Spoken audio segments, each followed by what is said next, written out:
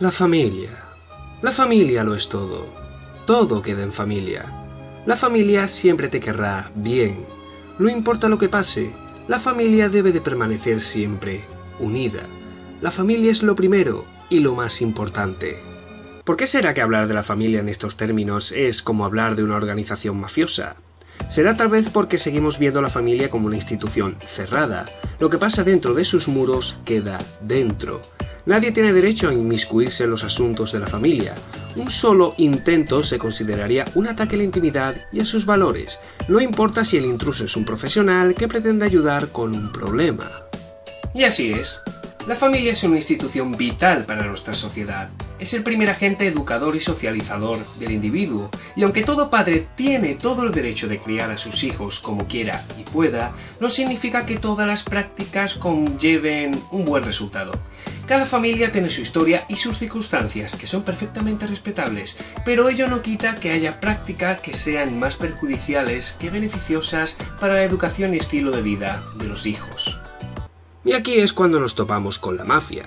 No pretendo señalar a nadie como mal padre o mala madre, de hecho ese es el principal miedo o recelo de las familias a la hora de acudir a los profesionales, pero como ya dije, hay cosas que, independientemente de las circunstancias de cada núcleo familiar, es mejor no practicar. Vamos a ver algunos ejemplos de conductas tóxicas en el seno de la familia. Comencemos con las expectativas sobre nuestros infantes. Todo padre desea que su hijo sea el más inteligente de la clase, el mejor de los deportes, el niño perfecto de la casa, pero a veces nos olvidamos de la realidad que acompaña a un niño. Son ruidosos, sucios, caprichosos y a veces parece que quieran hacerse daño a posta. Ante esto, siempre es inevitable que pongamos ciertas etiquetas. Mi niño es un poco nervioso, es tímido, es callado, o este es el malo mientras que su hermano es el bueno, las comparaciones son odiosas, tenerlo en cuenta. Pensamos que una etiqueta es inocente, pero ignoramos que esas etiquetas los están condicionando. Repetimos estas expresiones una y otra vez en todos los contextos. Creamos una expectativa en el niño sobre cómo se debe comportar o sobre lo que es más probable que haga, ¿Y cómo llamamos cuando alguien se cree las expectativas de los demás y empieza a actuar en consecuencia? Exacto, estamos hablando de efecto Pygmalion. Al final, la etiqueta se convierte en realidad. Y esto es solo refiriéndonos al efecto Pygmalion. Pero ¿qué pasa con las expectativas futuras de los padres? Quizás fuiste un jugador de fútbol frustrado, una bailarina frustrada, un matemático frustrado, pero ¿eso significa que tu hijo debe de recoger el testigo? La frustración forma parte de tu vida. No la transfieras a tu hijo haciendo que cumpla con tus deseos inconclusos. Él debe de decidir por sí mismo qué quiere ser. Y mucho menos un hijo no es una solución a una familia ya desestructurada. Emparejarte es un acto voluntario, como también está el consumar esa unión y tener hijos.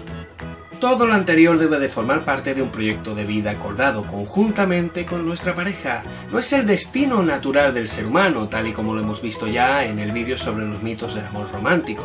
Traer un hijo al mundo pensando que un hijo soluciona los problemas es una equivocación. Estarás trayendo a alguien a este mundo que no tiene culpa de sufrir vuestros problemas.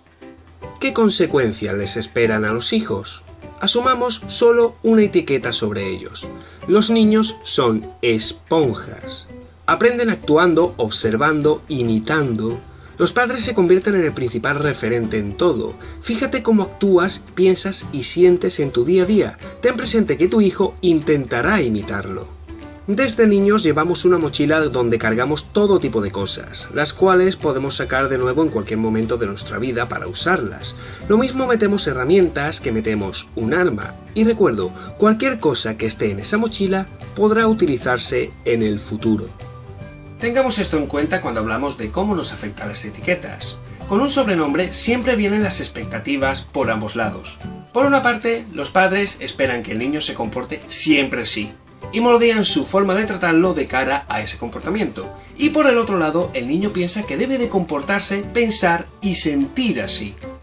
Eso conlleva a veces mucha presión y estrés. El niño crece inseguro, ansioso, con ideas preconcebidas sobre el mismo y el mundo. Si la etiqueta es negativa, el niño crecerá desesperanzado y si es positiva, posiblemente se frustre al no cumplir con las expectativas. En otras palabras, si piensas que tu hijo es idiota, será el más idiota del barrio, pero si piensas que es brillante, tendrás a un niño brillantemente estresado y frustrado. Es una suerte de efecto halo. No, no me refiero a este halo, me refiero al fenómeno social. Cuando asignas una cualidad a una persona, automáticamente le asignamos de manera inconsciente otras cualidades relacionadas, ya sean negativas o ya sean positivas, dependiendo de cómo sea esa primera etiqueta. Solución, no etiquetes. Adáptate y moldea a tu hijo o a tu hija según las circunstancias. Recuerda, son hijos, no son posi. Si os ha gustado este vídeo tengo que indicaros que solo es una primera parte. De otra forma sería un vídeo demasiado largo para tratar estos temas. Pero antes de seguir trabajando en ello, prefiero asegurarme de que es un tema que tiene aceptación. Por eso me aseguraré de que venga una segunda parte si este vídeo llega a las 5000 vistas y llega a los 500 likes. ¿Creéis que es demasiado complicado? No lo creo. Compartid el vídeo con todos vuestros amigos y veréis qué fácil es llegar. Y bien, ya tenéis deberes para la casa. Si es la primera vez que ves uno de mis vídeos, pues sígueme en mis redes sociales y suscríbete para ver más trabajos como este. Gracias por vuestra atención y nos veremos en el siguiente tema.